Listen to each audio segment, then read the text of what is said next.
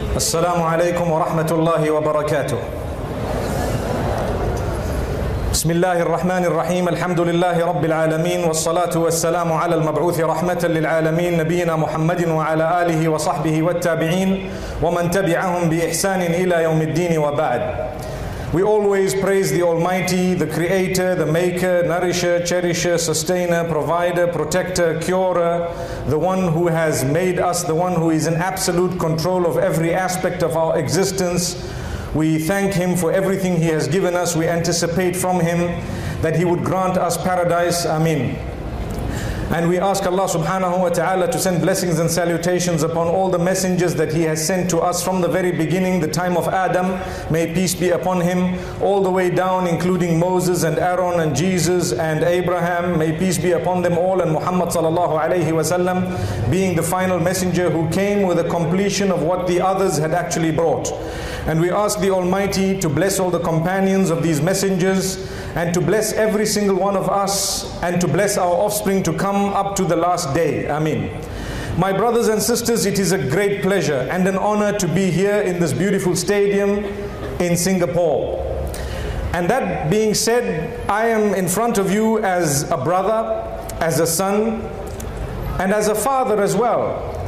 And this evening we will be speaking on aspects of parenting, but drawing from the surah number 31 in the Quran, where the Prophet, or should I say Muhammad sallallahu alayhi wasallam, was given verses that have been eternalized in the Quran in which there is mention made of a certain man for a specific reason and that is what we will be drawing from this evening. Who was this man? His name was Luqman the wise. Where was he from? He was from the northern part of Africa. What we would term today Sudan. We would call Sudan. According to the narrations he was a man from Africa. Some narrations say that he was actually a slave but he was very wise so he was not a prophet of Allah subhanahu wa ta'ala. He was not one of the prophets, but he was such a wise man. His preachings and teachings to his own son were so powerful that the Almighty chose to make mention of them in His word, and that is the revelation known as the Quran. And we who are Muslimin recite this as an act of worship. If you were to start your prayer, one of the five daily prayers, and you were to read Surah Al-Fatiha and thereafter you were to read a portion of this particular advice of Luqman to his son, it would suffice as your prayer. That's how powerful these words are. So they are the words of Allah subhanahu wa ta'ala where He describes what Luqman has said, the wise, Al-Hakim. So what did he say? Allah subhanahu wa ta'ala, Allah subhanahu wa ta'ala has named the entire surah after this man, Luqman. I want to pause there for a moment. Many of us will never be known. A lot of us, perhaps after we die, a few years down, nobody will know us.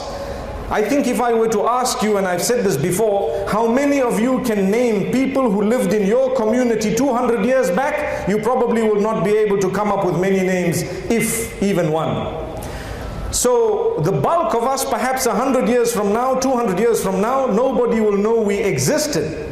But those who promote goodness and teach good and would like to light the candles of others in a way that is so beautiful, Allah subhanahu wa ta'ala, our maker, will ensure that a good remembrance remains for them even later on. And this is why when it comes to the messengers of Allah subhanahu wa ta'ala, Allah says, وتركنا عليه في الآخرين سلام على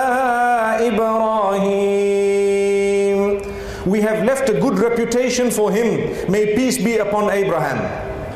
Why a good reputation? He stood for goodness. He stood for reaching out to everyone in a good way. The same applies to Moses and Aaron. May peace be upon them. Musa and Harun alayhim salam. Allah says, وَتَرَكْنَا عَلَيْهِمَا فِي الْآخِرِينَ سَلَامٌ عَلَى مُوسَى وَهَارُونَ We have left a beautiful reputation for them, a good remembrance amongst those who came after them for them, and peace be upon Moses and Aaron, Musa and Harun, may peace be upon them and may peace be upon every single one of us. This is a powerful encouragement for myself and yourselves to touch the lives of as many people as possible in a beautiful way so that when people think of you after you've left this world, which is so temporary, they will at least say, May Allah bless his soul. Allahu Akbar. May Allah bless the man. We miss him. He did a lot of good in his life. Whereas you know that some of us lead our lives in such a way that our daughters in law are waiting for us to die. May Allah protect us. I hope that's not the case. I don't think it is in Singapore anyway, mashallah. So some of us are leading our lives in such a way that people who work with us say, I hope this person is sick today, they don't come to work. That's how it is. Rather, when they see us, they should smile, mashallah. When this person corrects me, they do it in such a beautiful way. I really feel honored to be corrected by such a person. They say, I feel honored to be working with you because you have empowered them in a beautiful way. We, we rid ourselves of jealousy and hatred and all these evil qualities that make us become nasty towards one another. May Allah subhanahu wa ta'ala purify us. Amen. So this man was according to his community, perhaps not as significant as in the eyes of Allah subhanahu wa ta'ala. The same applies amongst us. There will be those who are so significant in the eyes of their maker, yet people in society may not even recognize them as significant. That is because your link with your maker will show very easily when it comes to your link with the others. So if you have a good link with those around you and you've reached out to them in a beautiful way, then Allah subhanahu wa ta'ala will ensure that you have goodness in this world and the next. May Allah subhanahu wa ta'ala create ease for every single one of us. My brothers and sisters, let's look at this man. We've already made mention of how important he was. Yet, in the eyes of people, he may not have been. He tells his son, pieces of goodness. He reaches out to the one whom he knew, I can reach out to this person. Now, even before we get to that, Allah says in the Quran, وَلَقَدْ آتَيْنَا لُقْمَانَ الْحِكْمَةَ أَنِ اشْكُرْ لِلَّهِ وَمَنْ يَشْكُرْ فَإِنَّمَا يَشْكُرُ لِنَفْسِهِ Indeed, we have bestowed upon Luqman, the wise, we have bestowed upon him the wisdom, saying, Be thankful to the Almighty. When the Almighty has granted you education and wisdom and goodness, be thankful to Him by reaching others with that goodness that you have been granted. Don't be selfish. So much so, we are taught as Muslims that if you are to supplicate, you want to call out to the Almighty for your own needs. Remember those who have needs as well. Call out for them. Don't just say, Oh Allah, give me, give me, give me, but you'd rather also say, Oh Allah, give those who don't have too. Wow, what a teaching. We are taught that when you make a prayer for someone else, the angels are saying, Oh Allah, give him or her similar to what he or she is asking for the other. So if I were to say, Almighty, grant him a mountain full of gold. I hope I'm sincere in that. So the angels would say, Oh, and grant him too. So I have a mountain of gold and someone else has it too. Whereas if I were to say, Give me a mountain of gold, I may have it, but I did not reach out to others with it. It will become something that might be a means of my destruction. May Allah subhanahu wa ta'ala bless us. You know, imagine if you were told that whatever you ask for, your enemy will get double that. Have you ever heard that? So it is said that once, you know, one of these people came and said, Right, you will be given what you want, but whatever you want, we're going to give your neighbor double. So the man was witty. He says, Okay, give me a huge house, massive palace with a pool and a tennis court and whatever else he wished for. And it came and it was given to him. And the man next door got two. Oh, he looked at it and says, ah. And then he says, okay, give me so much of wealth and so much of money that I can live for however long and so whatever, whatever he asked for in terms of wealth. And he was given that mountain of gold and his neighbor got two mountains of gold. And he says, ah. So finally he says, and this shows how bad the heart is sometimes. He says, now I want you to scare me half to death.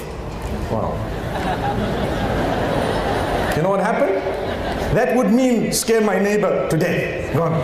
I was scared half and you can scare him all the way. If that is the attitude, we are not good people, really. You wish for your brother what you wish for yourself in terms of goodness. And we want to reach out to people like Luqman did. Look, he tells his son. And Allah says there that we asked him to be grateful to us. He was so grateful that he reached out to his son in the best way he could, in the most polite way that he could.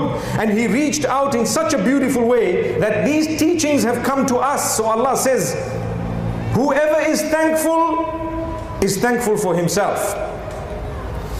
And whoever is ungrateful, they need to know the Almighty who gave you whatever you have does not really need you. He is independent from you.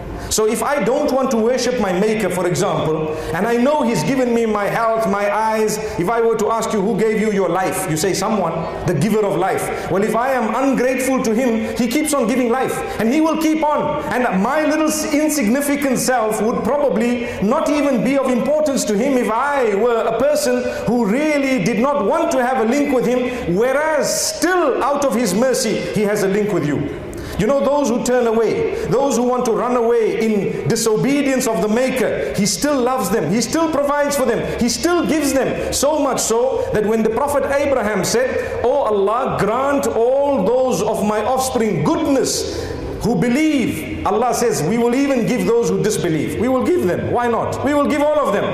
قال ومن كفر فأمتعه قليلا Even those who disbelieve, Allah says we will give them up to a time. We continue giving them. So this is why you find it does not mean that because you're a believer you will be wealthy or because you're a disbeliever you will be poor. No, sometimes the disbelievers might be richer and even more in terms of authority and so on than the believers, but that is a test of the same maker. And there will come a time when they realize that if the Almighty wills. May Allah subhanahu wa ta'ala create make ease for us all. So Luqman addresses his son saying, and Allah says, وَإِذْ قَالَ لُقْمَانُ لِابْنِهِ وَهُوَ يَعِظُهُ يَا بُنَيَّ لَا تُشْرِكْ بِاللَّهِ إِنَّ الشِّرْكَ لَظُلْمٌ عَظِيمٌ And remember when Luqman the wise told his son, لِبْنِهِ Al-Ibn means the son. He didn't say, يَبْنِي O my son. But he said, Ya Bunay, O my beloved son, O my dear son, my beloved son. Pause there for a moment. It shows he has a link with his child. How many of us have a link with our children? How many of us are able to even address our teenage kids? To be honest with you, a lot of us are busy at work, so much so that the kids don't even know us and we don't really know them. We don't even know what goes on in their lives. We don't even have time for them. We haven't made the time. Even the weekend comes and we're busy doing something else, you know, fishing, fishing. You go out, and then you catch the fish. And what happens? Hours have passed even if you just took your children fishing, perhaps you would be able to do something. No, they disturb me. I don't like that. Okay, well, why did you have them in the first place? So if you want to have children, make sure that you make time for them. Allahu Akbar. If you want to have children, make sure that you make time for them. I know we are all busy leading our lives, but create space change a little bit here and there. Make time and be beautiful with them. Ya Bunay, oh my beloved son. Wow, how I talk to you. I love you so much. Many of us have not told our children how much we love them. I know maybe the older generation might feel, hey, how can I tell my daughter I love you? You think I'm uh, insane? Are you crazy? Do you know what you mean? How can you not say, I love you? Go out and tell her, I love you. So what? It's a different type of love altogether. But you have to, if you don't express it, there will be someone else expressing it, then it will be too late. And they might lead them to doom. So this is why have a beautiful link. Express your feelings to your children and tell them how much you care for them, even to your spouse. We have so many emails of females that come in. You know, they call it email because I think most of them come from females. So, so many emails coming from females complaining that, you know, my husband never tells me he loves me. He, I know he does, but he doesn't say it. But I, I'm, sure he does. So we have to say, no, you know, uh, I, you know, some people express it differently and so on. But, you know, to be honest with you, come on, guys.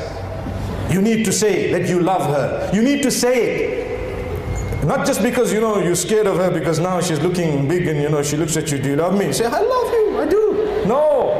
It is really something you need to think about. You need to express your feelings because today's world, not only should you show it physically and through your actions, you need both the statement and the action that proves it, not just one. So if you just have an action that proves it but no statement, you will lose out. And if you have a statement but no action that proves it, then too you lose out. Wow. So this is why, look at Luqman, he addresses his son saying, Oh, my beloved son. So now the son is all ears. I want to listen to my dad. If, if my father did not have time for me and he did not address me with respect, I wouldn't ever have sat and listened to him. But because I know he cares for me, let me lend him an ear. So what is he saying? Did he say, Oh, my beloved son, serve me, I am your father? Did he say that?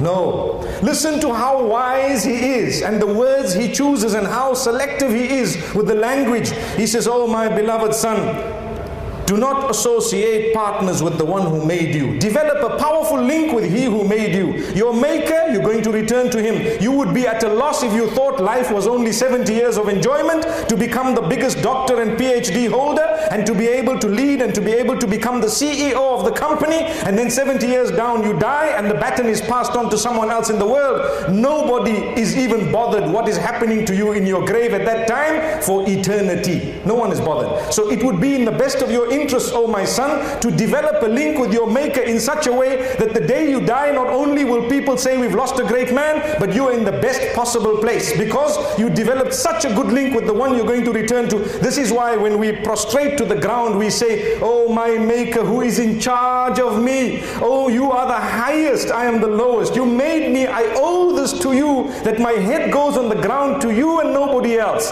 That means la tushrik billah. Don't associate partners with Allah. It, it's not allowed to bow down, or should I say, to prostrate in worship to anyone besides He who made you. Not even a prophet, not even a saint, not a human being, not a tree, and not an animal. He who made you, you put your head down. Wow, this is what he's telling his son. But the beauty is how he is saying it. He says, Oh, my son, you know that if you do that, it is the biggest, biggest bad deed you could ever do. Inna shirka la zulmun. It is oppressing yourself. You're wronging your own self. You have a mind and a brain. Just think for a moment, what should I be doing? Let me worship my maker and my maker alone. He made me and he brought me into this world. I have to live just for approximately 70 years on average, if you're lucky. And then I need to go. And when I go, I'm going to go for longer than I ever lived. Take a look at those who died 500 years ago, 1,000 years ago. Where are they? They've been dead for longer than they were alive. The same will happen to us. So we need to think about this. And this is why Luqman says, says, hey, to his son, oh my beloved son, think about this, look at it. Don't ever associate partners with your maker. Develop a link with him and him alone. Amazing. Then Allah subhanahu wa ta'ala says that Luqman tells his son, You now have a very good link with your maker. How did he make you? He chose parents for you. He chose parents what race they belong to, what nationality they are, what size they were, what financial standing they were. You had no choice in that regard, nothing. He chose. So therefore respect your parents. No matter who they are, where they are, what financial standing they have, you respect them. You be kind to them. You reach out to them. Speak to them with respect. Listen to them and obey their instructions as far as possible. There is only one exception. If they are to ask you to do something bad or wrong, then you excuse yourself kindly and you keep on being good to them in other ways. Wow. Subhanallah. This is what the surah says. Look at the power. The second point of Luqman. He says, he doesn't even say, Be kind to me, I'm your father. It, he could have said that. Oh, my son, I'm a wise man. Be kind to me, I'm your father. And watch your mother as well. Be kind to her, she's your mother. Be careful how you treat her. No, he didn't say that. Allahu Akbar. He makes mention of how Allah has enjoined, how your Maker has asked you to, to be kind to your parents. Amazing. This is what he says. He makes mention of it in such a beautiful way. Yeah, your maker has asked you to be kind to your parents. Wow, amazing. And then he says, be so kind to them, good to them, the way you speak to them. I pause for a moment. There are two things involved. Children who are here, I am also a child. My parents, alhamdulillah, are alive. May Allah grant them goodness. Remember one thing. How you speak to your parents is extremely important. You need to be kind. You need to understand you might think you're a big deal and a huge, strong teenager who's got muscle and who really is stronger than your own father and your mother. And sometimes you feel I can beat up dad because you know what? He doesn't even have the muscle. But remember one thing it is your test, how you talk to them. They may tell you things that you don't agree with. Think about it. If they are correct, then change your mind. And if they are wrong, respectfully disagree. And remember that it is a test for you. But the second point, my beloved parents, live with your children in such a beautiful way. Live with your children in such a beautiful way that they respect you to that degree. Sometimes we lead such a cheap life as parents that our children have no time for us. Sorry, there's a small announcement. There is a vehicle that perhaps needs yeah. movement. I think that's normally the announcement. Can I have the number? Yeah, it's, blocking the resident. blocking the resident. So the resident wants to. The vehicle SDW9955S. MashaAllah. The value of your car has just shot up by 100,000 Singapore dollars. So inshallah, if you stand up, at least we can offer you something, inshallah. Uh, my brothers and sisters, this is just a mistake. It's a human error. Uh, I think if you would be kind enough, SDW9955S, if you can please urgently, as an act of worship, get up and just move your car, and we will wait for you. Inshallah. In fact, we're recording this. You can hear it, inshallah, later on. My brothers and sisters, there's a way of saying things. I could have got up here and shouted the brother and said, You don't have any shame. But you know what? It could have been my car. Uh, I don't really think so, but I don't think I would have done that. But sometimes in your desperation to listen to something good, you do something bad. It happens on a Friday. I don't know if you notice. We want to get to the tadhkirah and to listen to the message and so powerfully and we are late. Why are you late? Why are you late? Come early. Didn't you hear that? And then park your car in a way that, subhanAllah, you don't disturb people. Because I'm going there, say, oh, oh Allah, I'm asking Allah on a Friday, oh Allah, have mercy on me, have mercy on me. And someone out there saying, whoever this is, curse them, curse them. So there are two du'as which are fighting each other. One wonders who will win. May Allah subhanahu wa ta'ala not do that to us. So, mashallah, that's the number plate and that's the vehicle. I'm sure it's moved by now, you know. Uh, Alhamdulillah. Let's carry on with what we were saying. So Luqman tells his, his son, in a beautiful way. And I was saying that there are two things. One is we should respect our parents and we should live a life if we are parents in a way that our children automatically respect us. Some of us do not respect ourselves. You know, we go and do wrong things and we embarrass ourselves. We show our bad habits to our children. What an insult. You know, smoking is a terrible habit. But I tell you, respect to those who do not like to actually show a bad habit to their children, knowing that I don't want my child to think that this thing is okay. And I'm so happy to hear that in Singapore, you dare try to smoke in public. Wow. May Allah subhanahu wa ta'ala help us. I wish that law was everywhere. You know, I wish it was even in the house that if you want to smoke, you've got to go into such a small room, just you and the cigarette. Did you know? I think it would eradicate the matter. So, my brothers and sisters, that is the point. You want parenting, you need to live as a decent parent. People complain, you know, my, my daughter wants to marry a guy from Czechoslovakia and she just met him on the net and I don't know. Imam, come and help me. Tell her that it's haram. Okay, so we are only there to show stick. Is that what it is? And this is why little children, whenever the child says something bad, they used to say, hey, you better do it, otherwise I'll tell the Imam. I don't know if it happens in this country as well. Poor Imam, such a softy, he's hardly even paid. He can't even drive a Toyota. And you look at him and you're looking at him and say, yeah, that's the Imam. And you see a man with a beard and the child says, you know. You have to change that. Come on, it's your fault. Why did you not engage in the life of your child from the beginning? Suddenly, when they want to get married, you want to instruct them what to do. Where were your instructions all along? Why didn't you instruct your child from the beginning and make them your best friend? The minute they found, they said, you know what, dad, I can met a guy online. And they just, that happened half an hour ago. It's easier to guide them at that time than three years later after she had two abortions, she tells you, dad, I want to marry a guy. May Allah safeguard us. This is happening on a global level. Believe me, this is going on. But we sometimes refuse to acknowledge the reality on the ground. And this is where we fail. So my brothers and sisters, it's important to develop such a beautiful relation and live in a way that people have a friendship with you who are your own family members. May Allah subhanahu wa ta'ala help us have a big heart. Also, the devil comes in sometimes. For one small misunderstanding you've had, you stop talking to your parents and your brothers and so on. Why? Why is this? Why do we have to have a misunderstanding make us cut off a relation that Allah has started? And this is why the hadith says, لَيْسَ الْوَاصِلُ بِالْمُكَافِئ Muhammad, peace be upon him, says, a maintainer of good relations is not the one who has a tit for tat relation. You give me a gift, I give you a gift. You give me a prize, I give you a prize. You call me to your house, I call you to mine. But he says, a true maintainer of family ties is he or she who goes out to mend a relation that is broken. Then you are talking business. How many of us are ready to do that with our own brothers, sisters, uncles, aunts, in laws, whoever else it is? Put yourself down and just apologize sometimes I have apologized more than a hundred times when I know I'm not wrong. Look, I'm sorry. I really, really am sorry. Why? Because it brought about happiness within me. People tell me, you're crazy. Why do you keep on apologizing? I say, because I need the happiness. I need the happiness. I need the contentment. I don't want to have stress in my life. If it's going to cost me, I am sorry. Let me say it. It's like a payment. And I, in, in reality, I wasn't wrong. Allahu Akbar. But we sorted the matter. But this only requires a person who knows what sickness is all about and who knows the value of contentment sometimes to be happy. You have to forgive. You have to.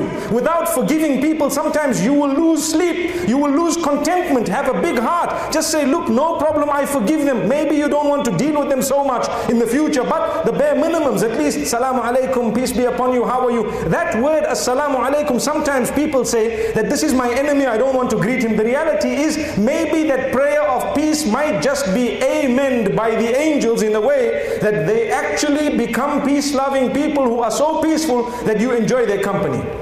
But you refuse to greet them, so you refuse to pray for them. Because in Islam, the greeting is actually a prayer.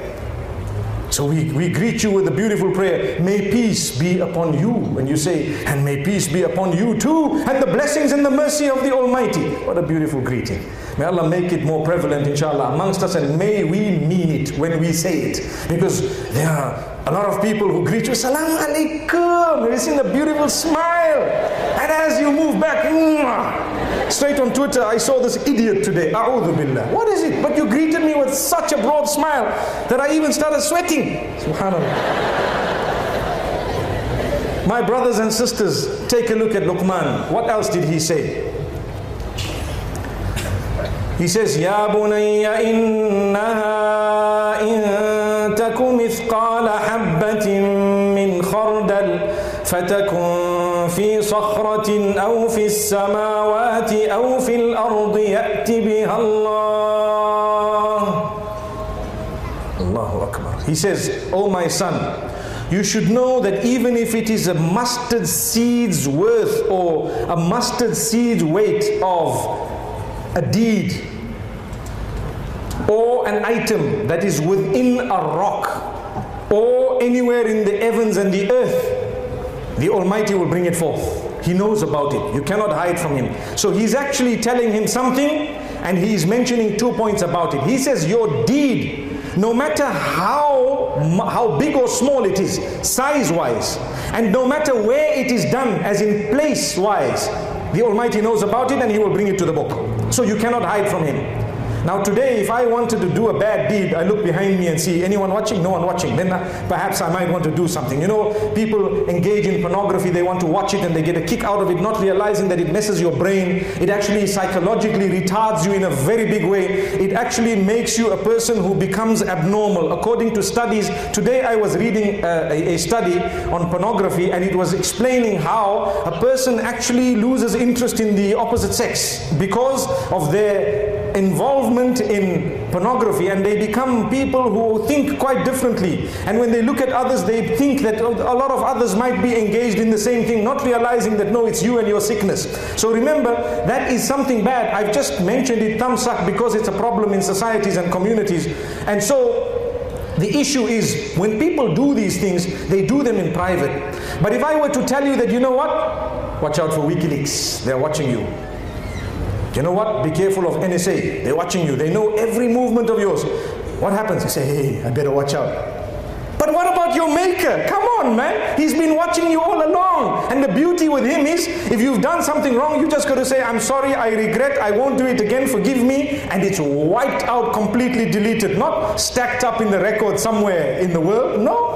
It's gone, totally deleted. So Luqman is telling his child that my son, you do whatever you are doing. Remember that no matter how small the deed is and no matter where you've done it, the Almighty has brought it to book, will bring it to book, knows about it, and is in absolute control of you at all times.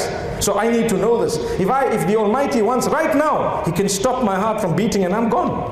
And what will happen? Well, then I go to face Him and answer for all my deeds, and I have hope because I know He is merciful and He is forgiving, and He is just and He is kind.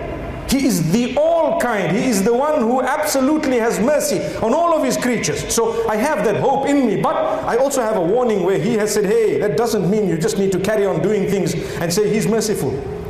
You know, someone commits adultery once, they ask Allah's forgiveness. Twice, they ask Allah's forgiveness, forgiven.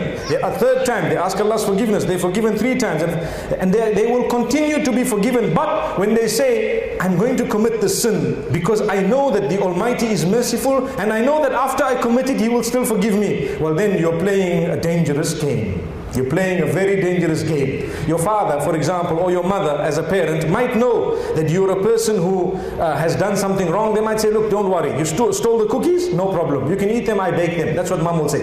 No, no, no need to steal. But next time you want to take all of them. So again, you do it behind her back. She says, no problem. It's okay. Tell me, I'll make them for you next time. I'm your mother. The third time you do the same thing, she says, come on, come on, come on, come on. What's wrong with you? Don't you see the tone changing? And after you do it so many times, there's a problem. You're treading a dangerous path. May Allah subhanahu wa ta'ala forgive us all. So the point being raised is develop a link with your maker, develop a link with your parents, and remember whatever you do or say, always there is Allah who is watchful. And if you are embarrassed about something you've done in your past, quickly delete it and format your hard drive by saying, Oh Allah, forgive me. I admit my sin, I regret it, and I won't do it again. Four conditions wiped out. In Islam, there is a beautiful teaching, and that is to confess your sin only to your Maker. Wow. Imagine if you had to confess your sin to people. May Allah protect us. No, Islam says don't ever do that. That person you might be confessing to may be more deeply involved in sin than you and you don't even know. I come across very religious perhaps. Only Allah knows what I'm swimming in. I try. And uh, subhanallah, I cannot claim to be a perfect human being, not at all. We believe in Islam, none of us are perfect. Kullu bani Adam khatta. We are taught by Muhammad sallallahu alayhi wasallam that all of the children of Adam make mistakes, they, are, they make error, and the best of those who make mistakes are those who constantly repent. Mark the word constantly. Constantly repent on a daily basis, every day. I say, oh Allah, forgive me, grant me ease, grant me goodness, and so on. So remember this. You can never hide from the Almighty. Quickly, my son, make amends. If you have faulted, ask the Almighty's forgiveness. You're not going to be able to run away from Him. Not be able to run away from the Almighty. So ask Him for forgiveness. And if you really are sincere, Allah says, إلا من تاب وآمن وعمل عملا صالحا فأولئك يبدل الله سيئاتهم حسنات وكان الله غفورا رحيما You know people who've committed so many various sins the Almighty says those who repent sincerely and do good deeds after that we will reward them in such a big way that we will take the bad deeds they did and convert them into good deeds on the right side of the scale and let them enter into paradise with so many good deeds that were formerly bad. But because they repented and did good deeds after that, we even converted that for them. Who can be more merciful than the Almighty? Like I always say, imagine you owe someone $10,000. And then you say, you know, I'm very, very sorry, you know, I really can't make it and I won't ever do this again. And they said, you know what? I forgive the 10,000 and here's another 10. Take it and go. Wow. Is there anyone like that in Singapore, inshallah? Maybe we can say it quickly. Anyone want these riba free loans, inshallah? It's hard to find someone like that. But the Almighty says, I will do that for you. I double, triple. In fact, the Almighty tells us, Do you know whatever you have is actually from me? When you came to the world, you came without anything. And when you leave, you will leave without anything. The only thing that will actually make you or break you, your deeds. Whatever we gave you in between birth and death, you need to convert it into good deeds and take it away. That's all. Because when you leave, you're going to go there just like you were born without anything. No Nobody takes a list of things that they've achieved with them into the grave to say, you know what, here's all my money, here's everything, here's all my bank cards, here's whatever. No, you could have the most in the world. The winner is he or she who has converted that money into a good deed by spending it in a charitable cause, reaching out to others, doing good deeds subhanallah that will help you the day you are gone as we've spoken. So Luqman tells his son oh my son ya bunay remember you will not be able to hide from your maker but I want to tell you something else my son يا بني أقم الصلاة وأمر بالمعروف وانهى عن المنكر واصبر على ما أصابك Four things mentioned together. If we, if we categorize them, three categories of items. He says, Oh, my beloved son, my beloved son, observe your prayer punctually. Pray to the Almighty, your Maker, punctually. Remember, on a daily basis, you owe Him that prayer. Remember, He's given you the life. Turn to Him in prayer. Put your head down on the ground for Him five times a day. Put your head down on the ground for the one who made you. You have problems, He is the owner of the solution. You need to have a link with Him. You have poverty, he, he is the owner of all wealth. You need to have a link with Him. You know, if we, I'm looking for a job and I've heard that it's impossible to get a job at this big company, you know, and next thing I enter for Salat Jum'ah or I walk into a mall and someone tells me, hey, this is the CEO of that company. CEO of which company? The company I've been looking for a job for that people have been telling me it's impossible to attain and get. The CEO is sitting right next to me. I hope we don't start nudging him because then he won't give you the job. But at the end of the day, what we will do, seize the opportunity. Good morning, sir. How are you? Whatever. Make a link with him. Smile at him. Perhaps if you have a card, perhaps if you have a small resume, or you might have a statement, a smile, and you might have something to say. You know, I, I really, I have qualifications. I'd love to work in the company and so on. Say something so that you know that tomorrow when you actually apply for the job, it will be a feather in the cap. You met the boss. Now, do you know who owns this dunya and the akhirah, the world and the next, this life and the next? The owner of it is the giver of it in the first place.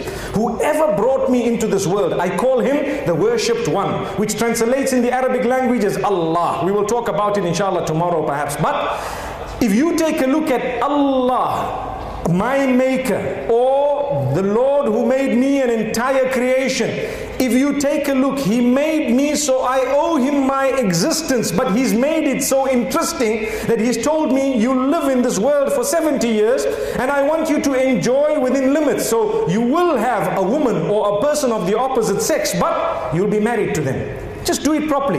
You will have wealth, but don't steal it, don't pinch it, don't deceive others to get it. Do not con, do not usurp. Do it properly. Work hard to get it. It will be better for you. You will have your own in terms of goodness, but we will test you time and again. This is why every one of us who are here today, mashallah, I see, I can't even see the end of this crowd, subhanallah. But every one of us has, has needs and we have issues, difficulties and problems. Every one of us, myself included.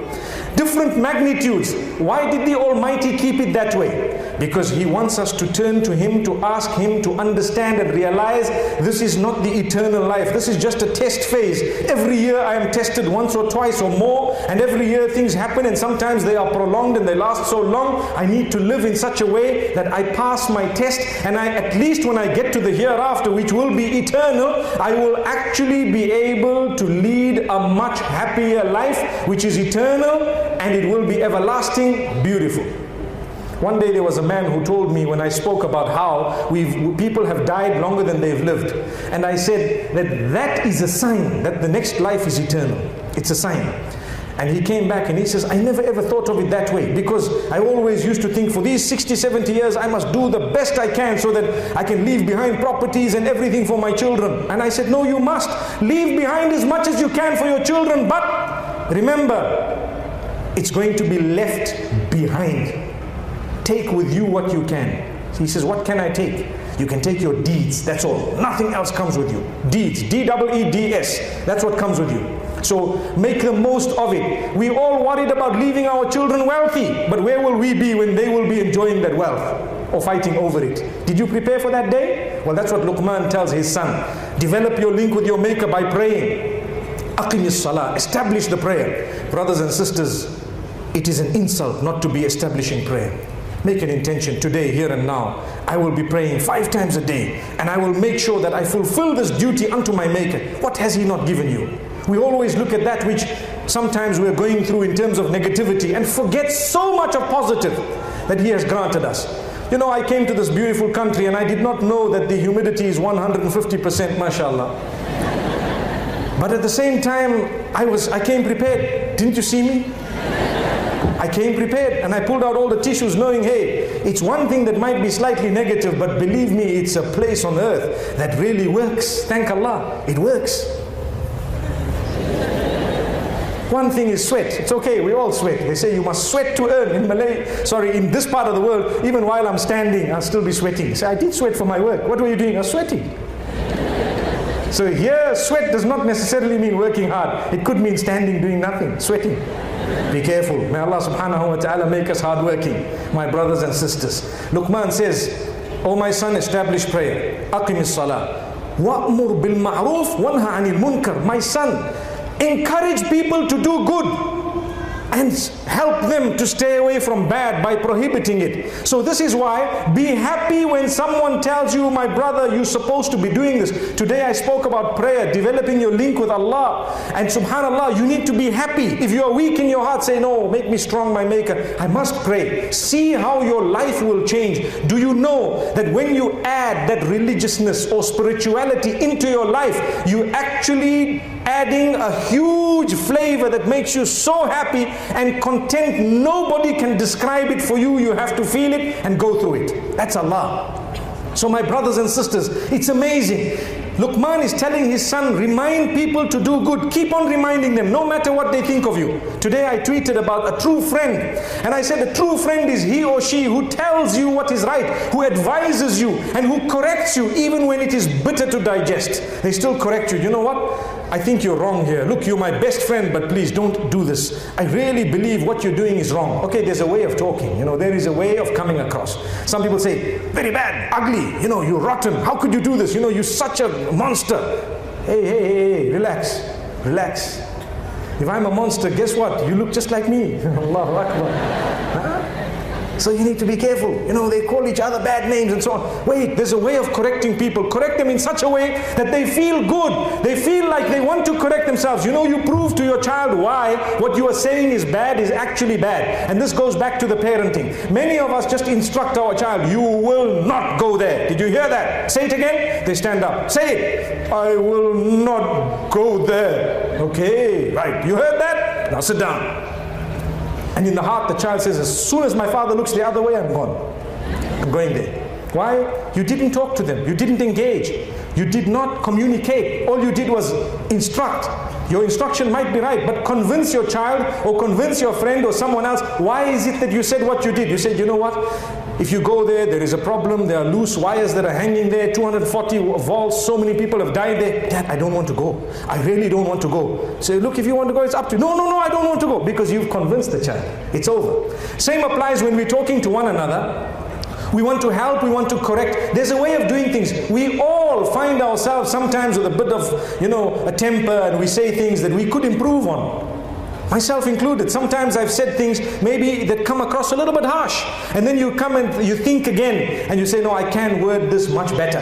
That's what is being spoken about. So apply wisdom, just like Luqman applied wisdom when it comes to imparting the knowledge you have. Sometimes you have a lot of knowledge, but you don't have wisdom yet. You know, you might, what you said is right, but the way you said it has made people even worse than what they were. So we ask the Almighty to help us. So these are the two important factors enjoining good and prohibiting evil. Something is bad, you need to say, look, this is wrong, this is bad, this is unacceptable, and so on. So we ask the Almighty to help us choose the best path to do this. The bare minimum, sometimes you can't do something, you cannot do something about certain things because you're not involved directly or you don't have the authority and so on. So the Muhammad sallallahu alayhi wasallam, the hadith of his, he says clearly that if in that case, at least you feel in your heart that this thing is bad. I felt it in my heart to say, you know what? What's happening is actually wrong. It's bad. And in that case, I would at least save myself. Because if you cannot save others, the bare minimum is save yourself. Subhanallah. Save yourself to start with. Today I was with uh, Dr. Muhammad Salah, mashallah, Allah grant him goodness, and we were talking about something, and he raised such an interesting point that I want to share with you. I'm sure many of us have flown on an aircraft. Every time you fly, there is an announcement that is made. The announcement of if there is loss of cabin pressure, the masks will appear or they will drop down from you know the top. When that happens, they always show you a little child. And they say, if you have a child with you, first put your own mask. You heard that? Wow. I heard this today again and I said, amazing. So then help the child because you might suffocate and you might harm yourself while you're trying to save someone else. You could save both, but first do it yourself and then go to the other. The same applies to us in life at large. Sometimes we want to correct our children, we have the same mistake in us. Will it help? It won't help. Correct yourself and then help your child. Your child will learn automatically. They'll see sometimes you are helping yourself. When you look at the child, you might see the child already has the mask on. Why? They just watched what you did and followed the same. Amazing. So this is why remember to lead by example. And the, the, the, the, third point, or if we categorized it, we did it in three, and if we mentioned them separately, they were four. Luqman tells his son, وَاصْبِرْ عَلَى مَا أَصَابَكَ Be very patient and endure that which reached you, which you could do nothing about. Endure it. So someone passed away, there has to be someone who will pass away. That's the Almighty's test. Allah tells us in the Quran that I will definitely test every one of you with not only the fact that you're going to die, no, but the death of someone close to you whilst you are still alive. Someone close to you has to die. If they haven't yet died, they are going to or you might die before them, so it's a test for them. Because the Almighty wants to test you to say, Will you bear patience upon what we have tested you with? I had no role to play, I could only pray to the Almighty. I took her to the doctor, or I took him to the doctor, and I tried my best medically, and we, we struggled and so on, but still he passed away or she passed away. Well, you, you might cry tears because it's normal, that's mercy. But you do not say, Why did you do this to me, Almighty? Or Allah, why did you do this to me? No. There was one brother who told me, Allah is so cruel. I'm changing my religion. Because why did my uncle die? I said, Well, there are people of the faith you are thinking to go to that, that have uncles who also died. What happened to them? You understand? So it's, it's silly. You need to bear patience upon what the Almighty has tested you with. Your tests are unique, they are tailor made. Your exam questions are different from the others. You might have a few people who go through something similar, and you might achieve comfort by listening to their answers in their examinations, meaning how they coped. But yours will be specifically tailor made for you and mine for me. May the Almighty make our tests easy, and may He make us pass them. And all those who've been tested, may the Almighty make it easy for you, and may your tests be easy. Amen. So Luqman says, My son, don't think life is just going to be, you know, a, a, a garden of roses. No, Life is not just going to be so smooth. You might have the best vehicle on earth, but you might have a blowout and a puncture, and then you're embarrassed. You still got to stop on the side of the road. Then what happens? You still have to repair. You still have to repair. There is a certain make of a certain vehicle. They used to say it is so highly priced that when something goes wrong, they have to cover the vehicle to repair the damage so no one knows which vehicle is actually damaged. I won't even say what vehicle it is, just now they sue me, subhanAllah. You know? So the, re the, reason I make mention of this is because remember, when something happens to you, it will, no matter how powerful, how big, how wealthy, how good looking, how whatever educated you think you are, uneducated, no matter who, what, where, when, why, and how, something will happen which will be your test. You need to endure. There's nothing besides endurance and prayer and asking the Almighty's help that will be able to help you. Certain things. So Luqman is telling his son, look, just be careful, you know. Make sure that you understand the tests and the plans of the Almighty. That is something beautiful. Then let's continue. Allah subhanahu wa ta'ala says, mentioning what Luqman has said, the wise.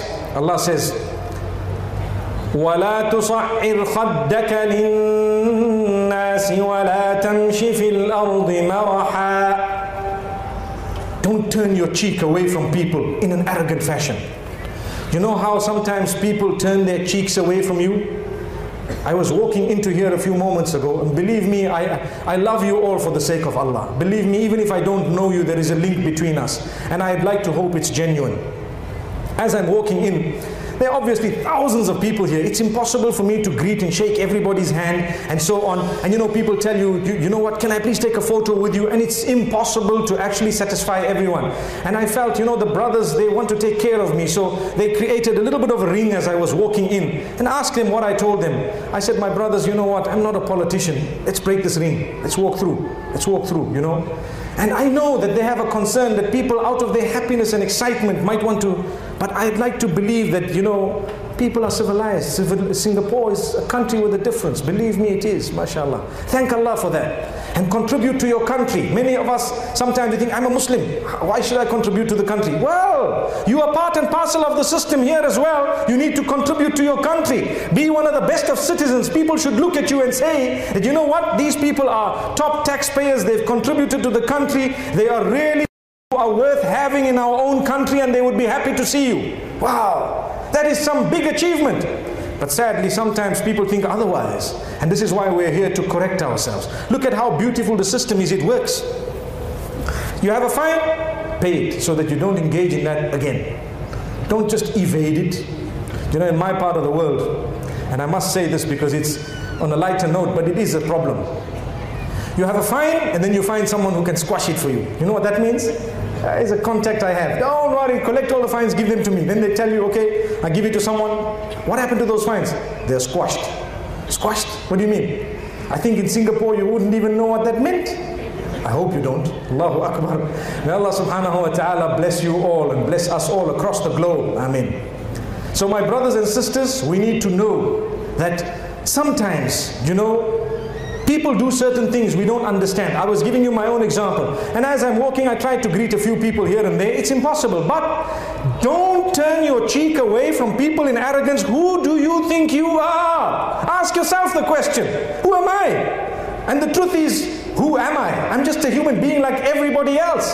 This is what Luqman is telling his son that, oh, my son, to watch out how you treat people. Be careful, talk to them with respect. Remember that your attitude towards them, this part of the verse is addressing attitude towards people, needs to be upright and correct. You want to have a positive impact on people, well, have a good attitude. If you take a look at the big, big companies where the CEO intermingles and mixes with those who work for him or under him because he knows he will achieve better results if he has a good relation with those who work under his authority. But if he has no relation whatsoever, it's somehow very boring to go to work. And it's somehow very boring because my little needs and my problems, nobody takes care of them. Today we have a whole department which takes care of the emotional problems of those who work under that particular company or in the company. Because they know there is a childbirth happening, there's going to be some form of guidance, counseling that's needed. There is a death that took place, something will happen. A robbery took place in your home. Sometimes in our workplace, people have been robbed, we don't even know, but we work with them, we sit with them almost half the day or more than half of the day. We don't even know. Why? Because we couldn't be bothered. We're leading our own singular life. When Allah says, you'd better interact with people and touch their lives in a positive way. May Allah subhanahu wa ta'ala help us in a way that our lives are also touched positively. Here Luqman tells his son, don't turn your cheek away arrogantly from people. لا تصعر خدك للناس. And watch how you walk. ولا تمشي في الأرض مرحا. You know that walk is so important, it's hard because sometimes you're walking, okay? Now I know I've given you the example of the parrot. I'm sure a lot of you know the story, right? The parrot. You want to hear it again? It's been years since I've said it. It's been years. It's about arrogance and how badly the people behave sometimes. And you know, arrogance gets you nowhere. Be humble no matter who you are. You can be the top person on the globe, or you can be a person who owns or who has, so what? Be humble. Watch how you walk. You don't have to walk and say, you know, who am I? I'm a big man. Wallahi, I, we've seen this happening. And this is strange because the look in your eye can sometimes tell that you're a good person. People can actually see. You know, they can see the eye. It's not always accurate, but sometimes they can say, look, this person is actually genuine. They care for me. They actually want to help me. So we were talking of the parrot. There was a parrot that could speak, and it did not like arrogant people. So there was a woman who walked past that pet shop, and the parrot was, you know, shown outside as one of the best things we own at the pet shop. So as the woman walks, you know that she had court shoes. You know what court shoes are? Those high heel shoes, you know, and, and they make a sound, court, court, court, court. I think as you walk, you know. So basically, as she's walking, what happened? The parrot says, Hey, you, hey, you. Oh, did I just hear the parrot call me? And as this person looks, the parrot says, You're ugly. Whoa. That was very bad, so embarrassing. I need to sue this parrot. Anyway, let's forgive him for today. Carried on. Next day, same thing. Hey, you, hey, you. But I didn't change my walk. The way I walked was still the same. So the parrot picks it up. Hey, you, you're ugly. that was very nasty. That was really bad. Okay, I'm going to allow this parrot one more time. Then, if it happens again tomorrow, I am definitely going to do something about this. And guess what? The third day, my walk did not change. I still walk the same arrogant way. Hey, down the aisle, boasting with all my friends and everything. Hey, hey, you, hey, you. You're ugly. Ooh, that was that was the last straw. It's over. So now what this person does, she goes in, tells the shop owner, fine, I want to sue you because of this parrot. What? Yes, you're going to be paying me X amount defamation and embarrassment and whatever's been happening on the street you don't even know and so on. Okay, do me a favor, ma'am. I will make sure this never repeats itself. Okay, fine. Call the parrot in. The parrot was called in. Listen, parrot. See this woman? Don't ever say you're ugly to this woman. So the parrot now cannot explain that, you know, but she's so arrogant, the way she walks past like she owns the whole world, and she looks at everyone as though she's the biggest thing. All I tried to do is to chop her down a little bit, you know. But the parrot cannot explain, so the parrot just says, okay, okay, no more saying you're ugly, okay, no more. Agreed, agreed. If you do, it's over. Okay, no more. So the next day, the woman calls all her friends, you know, the problem is solved, come and see, let's see. And she has the most of arrogance, walking with the biggest of sounds, and the poor parrot is busy shivering there, wondering what's going to happen to me. And the woman passes, and the parrot doesn't say anything. Well, and after a while, she's so arrogant, so she looks back. The parrot says, Hey, you, hey, you. what? You know. Allah safeguard us. So I didn't say you, ah, you know what happened, you know what I mean, you know why I said hey you, don't you? You better change your ways. So the moral of that story is, it's been a long time since I've said this, I think it's been a few years, subhanAllah. But the moral of the story is arrogance. Take it out of your life. Because even the plants and vegetation will not be on your side. Believe me, even the animals will not be on your side. This arrogance doesn't help.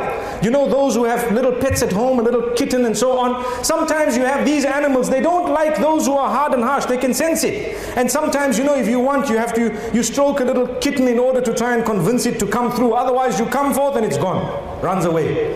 People have different types of pets. Sometimes you have a bird that could fly away, but it stays with you because it knows that you care for it. But the minute you show a bit of harshness and arrogance and so on, it's gone. May Allah subhanahu wa ta'ala bless us all and may He make things easy for us. So be careful how you walk and don't be arrogant. This is the advice of Luqman, the wise. Then he says, ولا تمش في الأرض مرحا إن الله لا يحب كل مختال فخور واقصد في مشيك واغضض من صوتك walk moderately on earth so you neither walk too fast nor are you slow nor do you stamp your feet, nor are you tiptoeing, meaning according to the occasion and whatever it requires, you are walking accordingly. You have a good brisk walk, you stand up firm. He's teaching his son how to walk, how to walk. How many of us have taught our children how to walk? And then he says, and lower your voice. You don't need to scream. You know, I remember a few years ago, nowadays we are so fortunate, technology, technology has actually moved in leaps and bounds. There was a time, not a long time ago, when if you wanted to call another country, you had to phone the exchange and book a call, give them the number, and they would tell you, we'll call you back at this time. I don't know if you recall those days. And then you find I'm talking to someone in the UK and I'm here in Singapore. So the exchange calls you and says, Is this your name? This your number? Yes. Okay, we are we have put your call through to this number in the UK. Thank you very much. Now you hold. Then you hear someone from there saying, Hello! And then you say, Hey, hello, how are you? Hello! Can you hear me? Because you're busy thinking, hey, they're in the UK, man. Not realizing that even if you just said hello, they would hear you. Subhanallah. So this is why there was a time when that used to happen, and up to today, I'm so sorry, I don't want to offend the older people, but it's technology that has changed. It's made us a little bit calmer. But sometimes you see an old person he- when he's talking on the phone. I hope it doesn't happen to us here.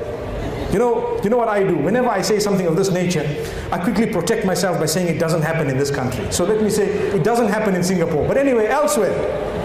So you, you find them speaking so loudly, and you say, calm down. He says, but they're far away. But hang on, they can hear you, man. Come on. So, so Luqman is telling his son, you know when you speak to people, watch your volume. Volume also is very important. You don't need to scream and shout because sometimes I know I visited a country without taking names, and the people would say, hello, how are you, as though they are fighting each other. And he says, "Ah!" And I'm like, what happened? He says, I was just asking him how he was. And what did he say? He says, I'm fine. Oh, wow. Now come on. So we need to be a bit civilized. We're being taught, learn how to speak. May Allah subhanahu wa ta'ala bless us. And the ending of these verses, he says, Inna ankar al aswati la sawtul hamir. Indeed, the most detested of all sounds is the sound of a braying donkey. You know, when you hear a donkey, you don't know what it said, and you can't even hear it, and you just know it's a big sound, and it's actually making so much of uh, noise. Sometimes when you speak so loudly, people don't know what you've said. Calm down, more people will listen to you. Speak softly, say something, you know, on their level. May Allah subhanahu wa ta'ala bless us. I hope we've learned something from Luqman the Wise. There are so many other sayings and quotations of his that are found in the hadith of Muhammad sallallahu alayhi wasallam and various other narrations. And this evening I actually uh, got a lot of his quotations and uh, compiled them in, in, in a certain form. And I hope and pray that starting from this, I will inshallah at some stage go through a lot of his sayings and try and extract benefit from it because it's something really, really wise. This evening, however, we concentrated on what he told his son with the idea of us also imparting to our own children as good parents that which will be beneficial. I hope we've benefited. I've spoken for a solid hour and one minute and five seconds. The one minute and five seconds was for this vehicle, you remember? So don't blame inshallah. جزاكم الله خير أقول ما تسمعون وصلى الله وسلم وبارك على نبينا محمد سبحان الله وبحمده سبحانك اللهم وبحمدك نشهد أن لا إله إلا أنت نستغفرك ونتوب إليك